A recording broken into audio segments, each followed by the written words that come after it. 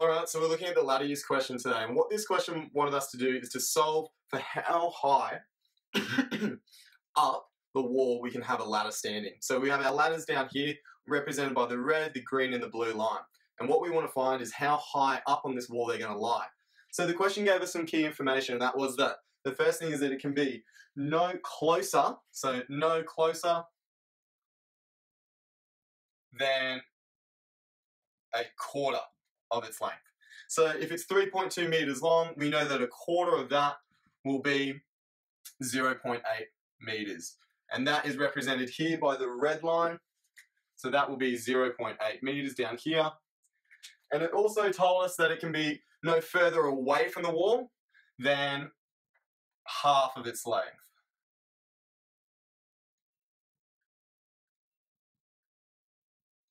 Then half. And so we know that that will be 1.6 meters, which is represented by the blue line. And the question asks us for three heights that it can sit on the wall. And so what I've done is I've added the green line here, and that just represents, for me, it could have been any different, any distance in between 0.8 and 1.6. I chose to just go halfway. So I chose the halfway point in between 0.8 and 1.6, and that is 1.2 meters. So now that we've got this, we can start to solve for how high it'll sit on the wall. And so using Pythagoras' theorem, we can find this. And so we know that that is going to be a, uh, sorry, c squared equals a squared plus b squared.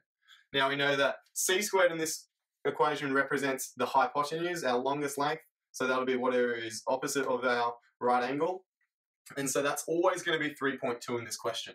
So we've got 3.2 meters squared, which equals a squared, um, can be our 0.8 down the bottom, meters squared, plus our b squared value.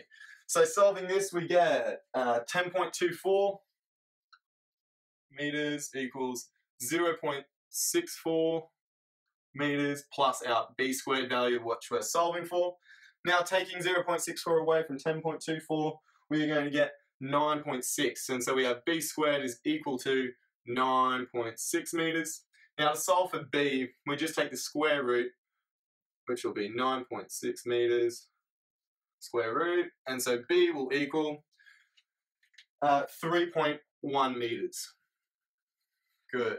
So now we can move on and we can do the next one. So looking at the distance 1.2 meters away, so again we're looking at our c squared equals a squared plus b squared. Again, this is always going to be our 3.2 meters squared, which equals uh, 1.2 for this one, plus our b squared value. Solving for these, we get 10.24 again. And then we get our 1.44 meters for this one, plus our b squared again. Now solving for that, we will get 8.8 uh, meters here, which equals our b squared value.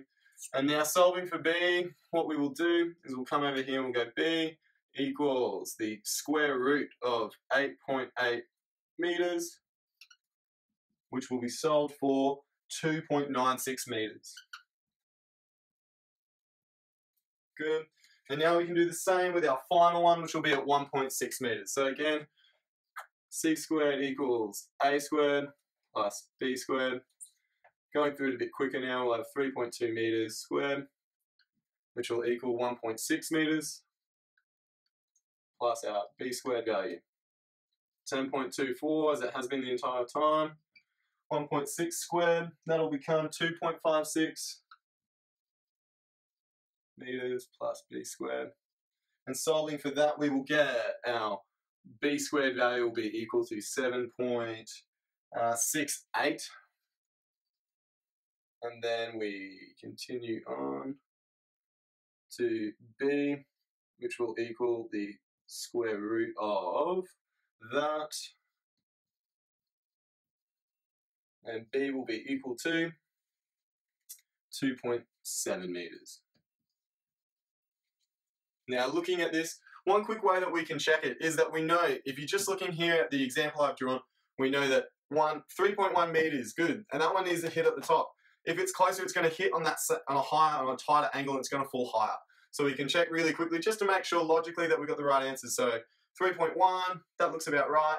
2.96, again, it's in between the red and the blue lines there are those ladders, and 2.7, the lowest down here, which makes sense. So good. And what we do probably lastly for this question is we just write a brief statement that um, with a length of 0.8 meters away from the wall or a distance, um, the ladder will go 3.1 meters high.